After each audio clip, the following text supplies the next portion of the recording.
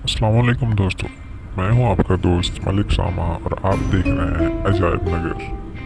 ناظرین کرام، آج کا دور سائنس کا دور ہے اور آئے دن سائنسدان نئی نئی چیزیں ایجاد کر رہے ہیں۔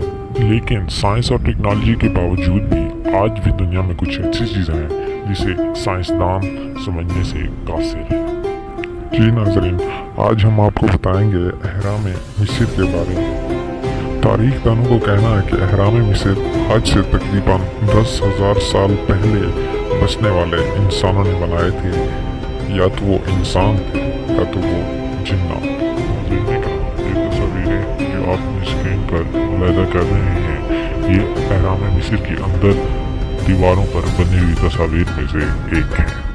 ناظرین کرام تاریخ دانوں کے مطابق وہ لوگ اپنے مردوں کو دفنانے یا جلانے کی بجائے کیمیکل وغیرہ لگا کر ایک لکڑی کے تابوت میں دفن کر دیتے تھے اور اس طرح ان کی لاشیں کئی سو سال تک لکڑی کے تابوت میں محفوظ رکھی رہتی تھی ناظرین مصر کی گورنمنٹ نے دو ہزار پندرہ میں پیرامڈ کو کھولا تھا تو انہیں اس طرح کی وہاں پہ لاشیں کچھ لاشیں ویسی کی ویسی ہی تھیں لیکن کچھ کی صرف ان کو ہڈیاں ملی تھی جو کہ آپ اپنے اسکرین پہ ملاحظہ کر رہے ہیں ناظرین کرام ہم مزید ویڈیو بھی پیرامڈ پہ بنائیں گے۔ ویڈیو اگر اچھی لگی ہو تو لائک کریں چینل کو سبسکرائب کریں اور شیئر کریں۔